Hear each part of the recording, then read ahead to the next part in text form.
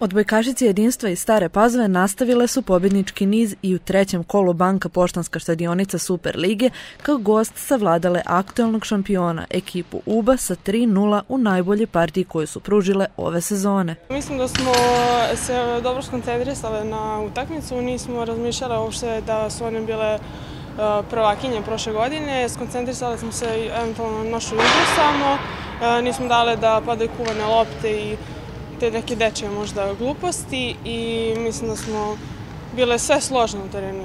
Pobediti u gostima, pogotovo rezultatom 3-0 je dobar rezultat, ozbiljan rezultat i to je jedan ozbiljan zamajac za naše nove izazove jedan ozbiljan motiv da poranimo jutros i da se pripremamo za narodne meče. Njih već u sredu 20. oktobra očekuje utakmica osmine finale Kupa Srbije protiv ekipe Beograda. Ekipu znamo, prošle godine smo igrali ligu sa njima, ovaj, bit ćemo pripremljeni naravno i na nama je damo maksimum.